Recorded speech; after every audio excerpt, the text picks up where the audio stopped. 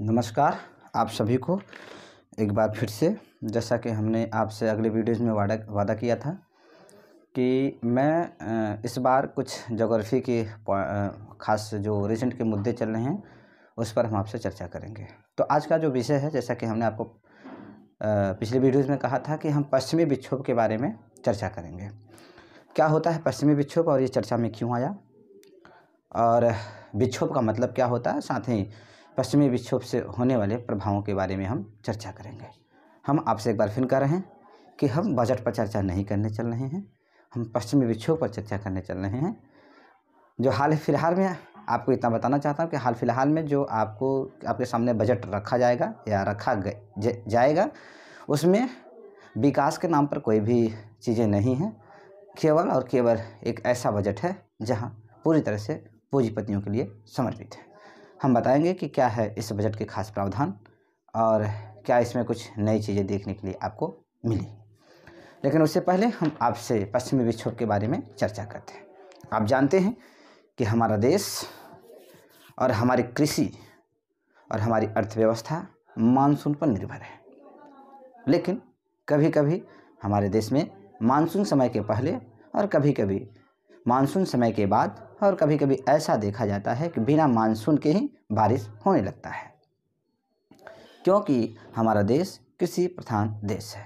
हमारे अर्थव्यवस्था में लगभग पचहत्तर प्रतिशत कृषि का ही योगदान रहता है। मतलब कह सकते हैं कि आप बड़े पैमाने पर क्या होती है? कृषि का ही योगदान रहता है। तो आप हम आपसे चर्चा क्यों कर रहे हैं कि पश्चिमी विक्षोभ?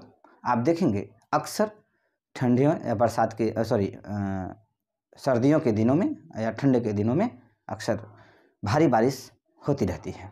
तो मैं आपको बता दूँ कि ठंडियों के दिनों में भारी बारिश का सबसे बड़ा कारण पश्चिमी विक्षोभ है। आप देखेंगे चर्चा में क्यों बना? चर्चा का विषय इसलिए बना क्योंकि कुछ दिन पहले लगातार दिल्ली तथा उसके आसपास के क्षेत्रों में भारी बारिश हुई है और आज भी मानसून वहाँ का बारिश योग्य बना हुआ है। तो इसका आप देखेंगे कि एक तरफ़ जहाँ गर, सर्दी के मौसम में भारी बारिश होने की संभावना रहती है। तो दूसरी तरफ़, वहीं आप गर्मियों में देखेंगे कि लूह जैसी शुष्क वातावरण इन आसपास के क्षेत्रों में बना रहता है। आइए हम समझते हैं कि पश्चिमी विक्षोभ क्या है। आपको पता है कि इसके नाम में ही लिखा गया है कि पश्चिमी विक्षोभ मतलब पश्चिम की दिशा में कुछ ऐसे डिस्टर्बेंस होते हैं जिसके कारण वहाँ से चक्रवाती तूफ़ान जैसी चीज़ें उत्पन्न होती रहती हैं। विक्षोभ का मतलब यहाँ पर समझना है कि विक्षोभ का मतलब होता है कि वह क्षेत्र जहाँ पर हवा वाले जो कम कम हवा वाले दबाव क्षेत्र निर्मित होते हैं, उसे हम विक्षोभ दे, नाम देते हैं। मतलब कम हवा वाले जहाँ पर भी क्षेत्र उत्पन्न होता है, उसे हम विक्षोभ नाम देते हैं। तो इसका मतलब यह है कि पश्चिम के दिशा में सर्दियों के मौसम में कम हवा वाले क्षेत्र उत्पन्न होते हैं, इसलिए हम क्या कहते हैं? पश्चिमी विक्षोभ कहते हैं। अब ये जो पश्चिमी विक्षोभ है, पश्चिमी विक्षोभ एक प्रकार का तूफ़ान है और कह सकते हैं कि ये चक्रवाती जैसा तूफ़ान है। यह आपके कैस्पियन सागर या भूमध्य सागर के क्षेत्र में उत्पन्न होता है। इसका मतलब यह है कि भूमध्य सागर और कैस्पियन सागर के क्षेत्र में कुछ ऐसे एरियाज़ होते हैं जहाँ कम दबाव का क्षेत्र उत्पन्न होता है, जिसके कारण चक्रवाती तूफ़ान उत्पन्न होते हैं।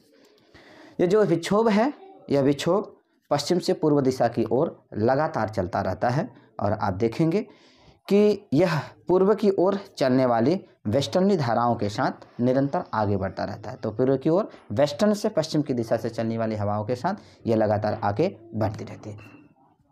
समय समय पर जो भारतीय मौसम विभाग है इंडियन मेट्रोलॉजिकल डिपार्टमेंट आईएमडी समय समय पर क्या होती है आ, कुछ ऐसे संकेतक और कुछ सूचनाएँ जारी करती रहती हैं जिससे कि देश में रहने वाले लोगों को सजग बनाया जाता है।